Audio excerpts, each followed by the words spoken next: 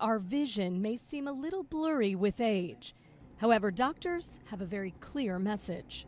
For those who have not had an eye exam, just realize there are a lot of eye diseases out there, and virtually all of them can be slowed or sometimes even prevented if we can do an annual eye exam and pick those conditions up. According to the group Prevent Blindness, women more often than men have leading eye diseases. In fact, females are more likely to be visually impaired or blind. But a recent Harris poll shows that fewer than 1 in 10 women are aware of their increased risk of permanent vision loss. Prevent Blindness wants to educate women of this fact, although they stress the importance of baseline exams for everyone at age 40. Here are some other things all people can do as they age to protect their vision. Follow a healthy diet, include dark leafy greens. Don't smoke. Always protect your eyes from UV rays. And make your doctor aware of any family history of eye disease.